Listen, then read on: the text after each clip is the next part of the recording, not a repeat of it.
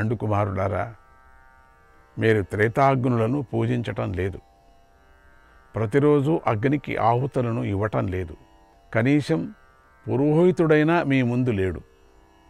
ఈ కారణాల చేత నేను మీపై ఆక్రమణం చేయాల్సి వచ్చింది అక్రమంగా అనుకుంటున్నారు మీరు ఆక్రమణం చేయాల్సి వచ్చింది చేయగలిగాను కూడా.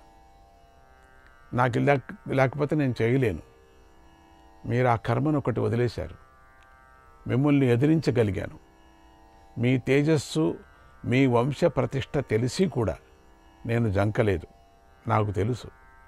ఈ కారణాల చేతనే నేను మీపై ఆక్రమణ చేశాను కావలసిగా చేశాను. మూడు లోకాల్లోనూ మీ గురించి తెలియని వారు ఎవరున్నారు అందరూ తెలుసు అందరికీ తెలుసు. లేరే లేరు ఎవరు కూడా తెలియని వారు లేరు. ఇక నాకు తెలియకుంటుందా? మీరు గుణ సంపదతో విశాలమైన కీర్తిని పొందిన్నారు. అదిగాక నా గంధర్వుడికి నాకు తెలీదా? మిమ్మల్ని చూస్తానే నేను కనిపెట్టేశాను. కురువంశ యశస్సును యక్షులు రాక్షసులు గంధర్వులు పిశాచాలు నాగులు దానవులే గానం చేస్తూ ఉంటారు. మీ పూర్వీకుల గుణగానాలను నారదుడు మొదలైనటువంటి దేవమునులు గానం చేస్తుంటే నేను విన్నాను నాకు తెలుసు. ఈ భూమిలో నేను స్వయంగా సంచరిస్తూ మీ కులప్రతిష్ట యొక్క గొప్పదనాన్ని ప్రత్యక్షంగా నేను చూశాను. మీ గురువైనటువంటి ద్రోణుడు నాకు బాగా తెలుసు. యమధర్మరాజు వాయుదేవుడు ఇంద్రుడు అశ్విని దేవతలు పాండురాజు నాకు బాగా తెలుసు. ఈ ఆరుగురు మీ వంశాన్ని వృద్ధి చేస్తున్నారు. మీ అందరూ దేవతా స్వరూపులు. మీకు తెలుసా? శస్త్రధారుల్లో శ్రేష్ఠులైనటువంటి వాళ్ళు. బ్రహ్మచర్య వ్రతాన్ని పాటిస్తున్నారు.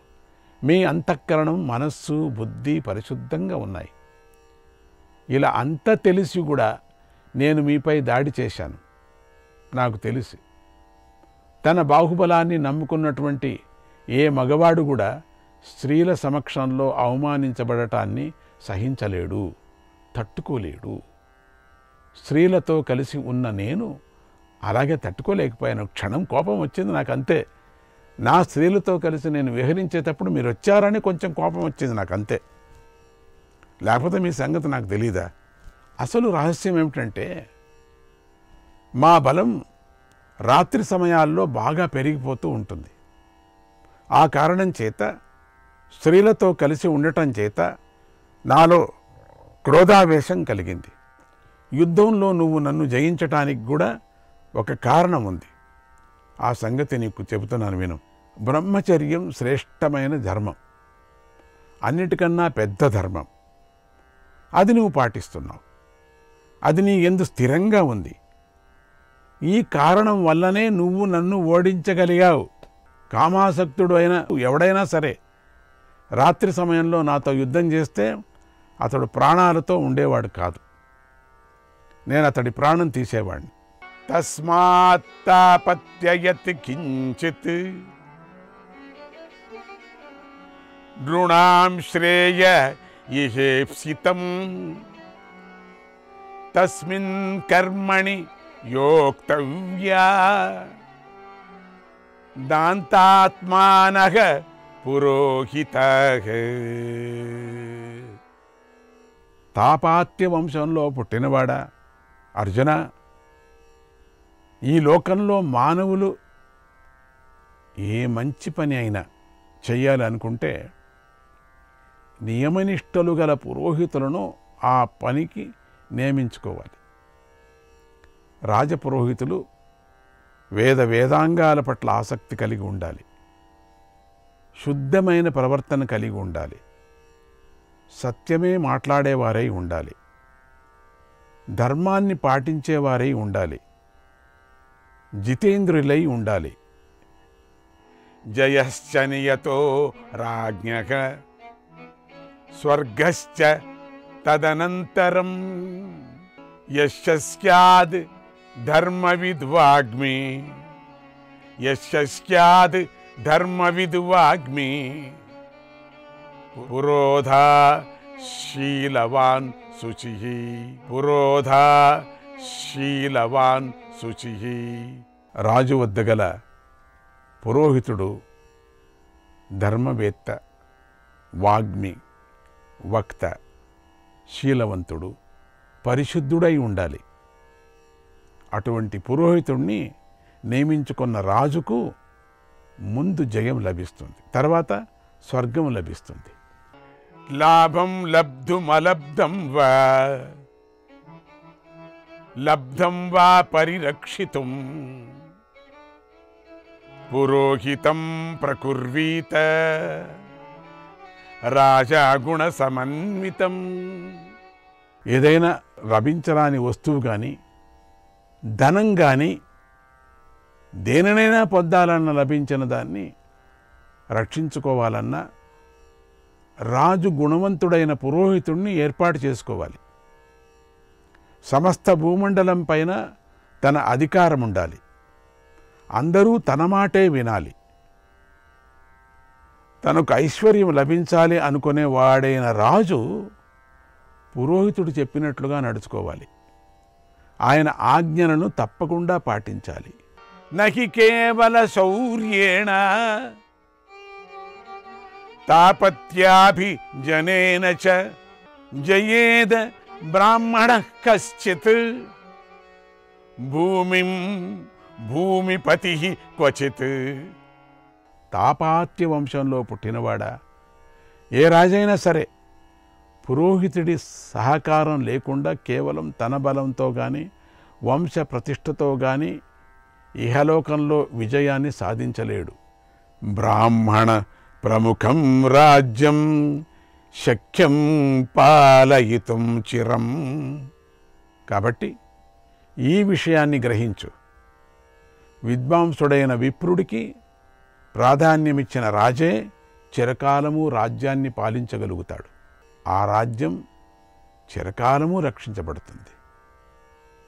రాజు అధికారం శాశ్వతంగా ఉంటుంది అని గ్రహించు. బ్రాహ్మణుడికి ఎంత ప్రధానం ఇచ్చారు ఇక్కడ? వ్యాస భగవాన్. అద్భుతమైనటువంటి బ్రాహ్మణ పాండిత్యానికి ఆ యోగానికి ఎంత ఇచ్చారా? అన్నాడు ఆ గంధర్వుడు. శ్రీకృష్ణాయ పరమాత్మనే నమ. నూట డెబ్భై అధ్యాయం. గంధర్వుడిని అర్జునుడు ఇలా అడిగాడు ఓ గంధర్వ నన్ను తాపత్య వంశీయుడా అని పిలిచావు కదా అన్ని మాటలు. ఇలా పిలవటానికి కారణం ఏమిటి తాపత్య అనే పదానికి అర్థమేమిటి? ఏమిటి తాపత్య అంటే? తపతి అంటే ఎవరు? ఈ పదం నుంచే మమ్మల్ని తాపత్యులని పిలుస్తున్నావు. మేము ఇంతవరకు కుంతి కుమారులమే అని అనుకుంటున్నాం కదా ఇప్పుడు ఏదో ఈ కొత్త పదంతో ఎందుకు పిలుస్తున్నాం ఏది మాకేదో కొత్త పదం అంటగట్టావే ఆ రహస్యాన్ని మాకు తెలియదయ్యా ఈ రహస్యాన్ని చెప్పు నువ్వు గంధర్వుడు కదా అన్నీ తెలుస్తాయి కదా అని అడిగాడు. ఆ కథ మూడు లోకాలను ప్రసిద్ధి చెందిన కథ. దీనిని గంధర్వుడు అర్జునుడికి ఇలా చెప్పాడు. అర్జున నిన్ను తాపత్యుడా అని పిలవటానికి ఒక కారణం ఉంది. చెబుతున్నాను విను. ఆకాశంలో పుట్టి తన తేజస్సుతో స్వర్గలోకం వరకు వ్యాపించే సూర్య భగవానుడికి ఒక కూతురు ఉంది. ఆమె పేరు తపతి. ఆమె తండ్రి రాగానే వెలిగిపోతూ ఉంటుంది. ఆమె సావిత్రిదేవికి చెల్లెలు. ఆమె తపస్సు చేసి మూడు లోకాలను గొప్ప ఖ్యాతిని పొందింది. తన పేరును సార్థకం చేసుకుంది. అందుచేతనే ఆమెకు తపతి అనే పేరు వచ్చింది. ఆమె వంటి అందగత్తే దేవతలు అసురులు యక్షులు రాక్షసులు అప్సరసలు గంధర్వుల్లోనే లేరు.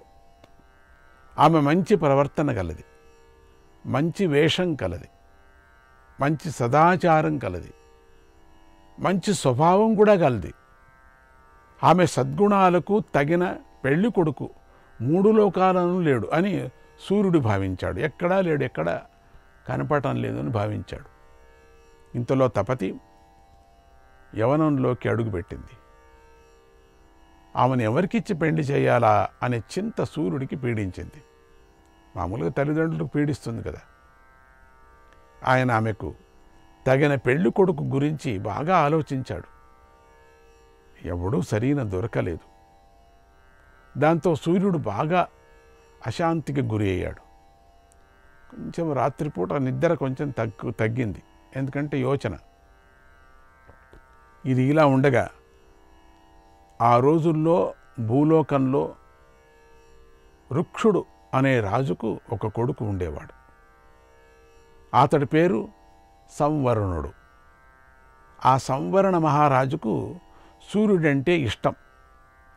ఆయన మీద ప్రేమతో ఆ రాజు సూర్యుడి గూర్చి తపస్సు చేయసాగాడు. అతడు మంచి గుణాలు గలవాడు.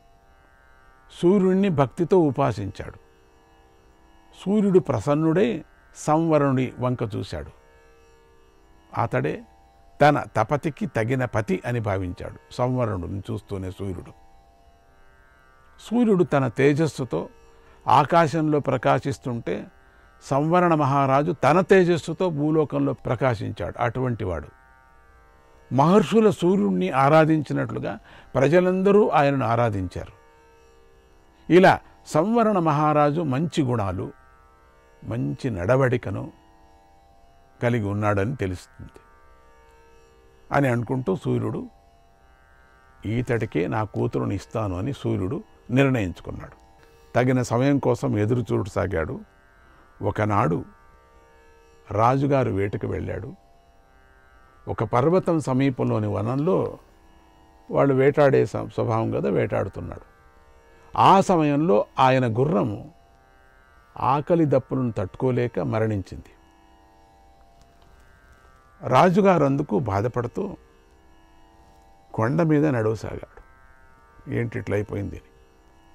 అప్పుడు ఒక చోట ఒక అందమైన స్త్రీ కనిపించింది. ఆమె సూర్యమండలం నుంచి రాలిపడిన సూర్యప్రభలాగా ఉంది అనుకున్నాడు రాజుగారు. ఆ స్త్రీ నిజంగానే అగ్నిజ్వాలలాగా వెలిగిపోతోంది. పర్వత శిఖరంపై ఒంటరిగా నిలబడి ఉంది. బంగారు బొమ్మలాగా ప్రకాశిస్తోన్నది ఆమె కాంతులతో అక్కడి యొక్క చెట్లు లతలు పొదలు ప్రకాశిస్తున్నాయి. సూర్యమణిలాగా. సూర్యమణి ఎప్పుడు రాత్రిపూట పెడితే అది ప్రకాశి తాను ప్రకాశిస్తూ చుట్టూ ఉండేదాన్ని ప్రకాశ. చంద్రశిల కూడా అంటారు. చంద్రశిలను అదే విధ అదే విధంగా. పొద్దున పూట పూర్తిగా సూర్యుడి యొక్క వెలుతురు తీసుకుంటుంది. తీసుకొని పూర్తిగా రాత్రిపూట ఆ కొండ మొత్తం చంద్రశిలలాగా చుట్టూ ప్రకాశిస్తూ ఉంటుంది. అంటే ఇప్పుడు కొరతకంగా కూడా చేస్తున్నారు కొంతమంది. చివరకు కొండ కూడా బంగారు కాంతులతో ప్రకాశించింది. రాజుగారు ఆమెను చూసి మోహించాడు. ఆమె వద్ద నుంచి కదలలేకపోయాడు. అలాగే నిలబడిపోయాడు కూడా. ఆమె గురించి ఆలోచిస్తూ ఆమెతో ఇలా అన్నాడు. ఓ సుందరి నువ్వెవరు? ఇక్కడెందుకున్నావు? ఎవరూ లేని ఈ ప్రాంతంలో ఒంటరిగా ఎందుకు తిరుగుతున్నావు? నువ్వు దేవకాంతవు కాదు దానవు కాంతవు కాదు యక్షకాంతవు కాదు రాక్షస కాంతవు కాదు గంధర్వకాంతవు కాదు మానవకాంతవు కానే కాదు అని నేను అనుకుంటున్నాను. నువ్వెవరు? ఇంతవరకు నేను ఎంతోమంది అందగత్తెలను చూశాను. కానీ వారెవరూ నీకు సాటిరారు. నిన్ను చూసిన క్షణం నుంచి నా మనస్సు నిన్నే కోరుకుంటుంది అన్నాడు. ఆమె ఆ మాటలు వింది కానీ ఏమీ ఆమె మాట్లాడలేదు. వెంటనే మేఘాలలో మెరుపు మెరిసి అంతర్ధానం అయిపోయినట్లుగా అంతర్ధానం అయిపోయింది అక్కడి నుంచి వెళ్ళిపోయింది. మెరుపు తీగ లాంటి అమ్మాయి ఇలా కనిపించి అలా అదృశ్యమయ్యేసరికి రాజుగారు అప్పటికప్పుడే పిచ్చివాడైపోయాడు. ఏంటి ఇట్లా అవుతుందని? ఆమె కోసం వనమంతా తిరిగాడు. విలపించాడు. ఆమె కోసం కొంతకాలం అక్కడే ఉన్నాడు. మళ్ళీ వస్తుందా అని శ్రీకృష్ణాయ పరమాత్మనే నమ. నారాయణ నూట డెబ్భై ఒకటవ అధ్యాయానికి వస్తున్నాం మనం ఇప్పుడు. సంవరణ మహారాజు శత్రువులను సంహరించగల సమర్థుడు శక్తివంతుడు అలాంటి ఆ మహారాజు కామమోహితుడైపోయాడు. తనకు కనిపించినటువంటి సుందరి మళ్ళీ కనిపించకపోయేసరికి ఎంతో దుఃఖించసాగాడు. అసలు ఇన్ని ఈ కథలంతా ఇట్లనే వస్తూ ఉంటాయి మనకు కొన్ని చోట్ల. కానీ ఇది దేవదత్తంగా వచ్చేటువంటి కథలు కొన్ని. మనం మామూలుగా వినేటువంటి కథల్లో కూడా ఒక్క పర్యం చూస్తూనే ఆ రాజులు కానీ ఆ దేవతలు కానీ మోహిస్తారు. అది విధి అట్లా ఉంది. రెండోది కథ అట్లా జరగాలనుంది.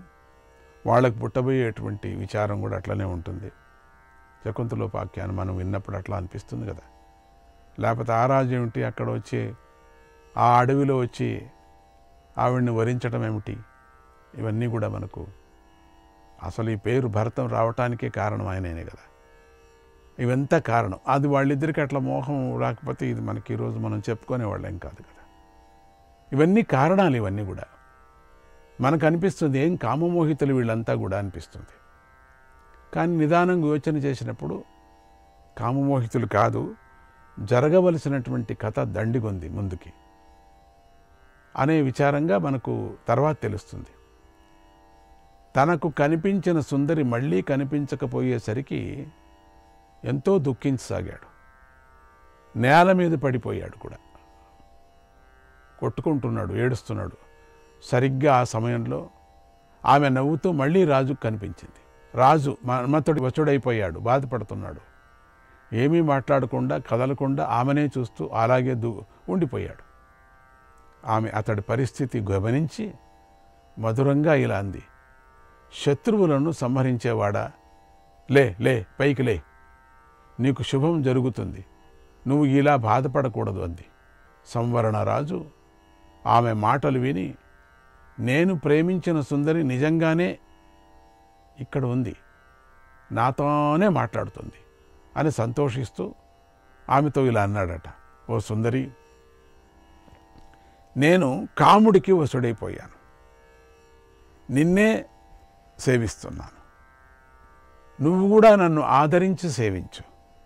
లేకపోతే నా ప్రాణాలు నిలవవు కామసర్పం నన్ను కాటువేసింది. రక్షించమని కోరుకుంటున్నాను. నీ మాట కిన్నెరుల పాటలాగా ఉంది. నువ్వు మాట్లాడుతుంటే నువ్వు నడుస్తూ ఉంటే నువ్వు చూస్తూ ఉంటే నా ప్రాణాలంతా నీ వశమైపోయాయి. నువ్వు లేకుండా నేను బ్రతకలే నేను ఇంతవరకు బతికిందే ఎక్కువ. మదనుడు నన్ను గాయం చేశాడు. ఈ గాయాన్ని నువ్వే పోగొట్టగలవు. నాపై దయ చూపించు. నేను నీ భక్తుణ్ణి. నన్ను నువ్వు విడిచిపెట్టకు. నువ్వే నన్ను రక్షించేదానువు మనం గాంధర్వ వివాహం చేసుకుందాం అన్నాడు. అప్పుడు ఆమె చెప్తుంది ఓ మహారాజా నేను స్వతంత్రురాలను కాను. శ్రీకృష్ణాయ పరమాత్మనే నమ.